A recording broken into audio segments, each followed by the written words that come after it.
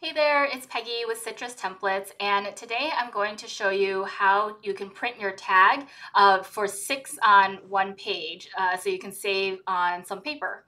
So once your tag is done, uh, you can go to Share and uh, download and do print to PDF, uh, PDF print, and then do the crop marks and bleed.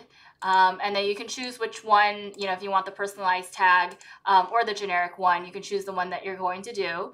Um, and then just click download. Then uh, once it's downloaded, um, then just open it up in uh, your, your viewer. It, it'll be a PDF. And so you can see here, this is the PDF. Then you can print this PDF and then in your printer settings, you can say copies per page. You can go to six. So that'll print it for six copies per page, and then you can just hit print.